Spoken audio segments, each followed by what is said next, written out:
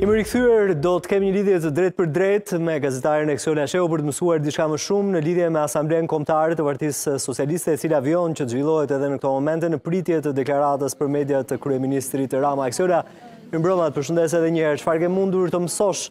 nga zhvillimet e Asamblesë së Partisë Socialiste duket se fokusi kanë qenë zgjedhjet e ardhshme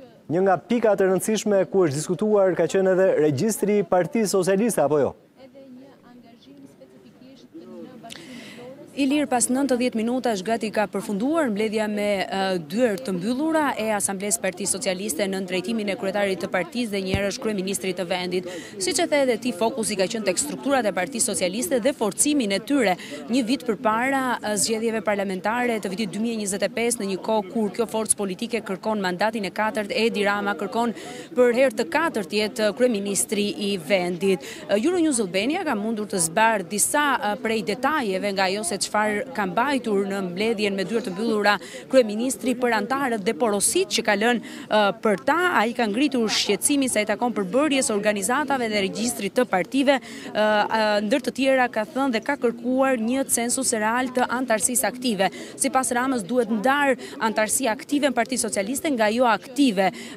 dhe sa i takon kësaj të dytës, pra anëtarësisë e cila nuk është aktive duhet cilësuar nëse janë larguar nga partia, nëse janë në emigracion apo kanë ndërruar jetë ka kërkuar për secilën organizatë socialiste nga 4 anëtarë të rinj dhe po ashtu ka kërkuar për secilën organizatë një dokumentim të plotë të të gjithë situatës së Partisë Socialiste nga çdo drejtues politik i qarqeve. Ka kërkuar raport dhe fotografi të situatës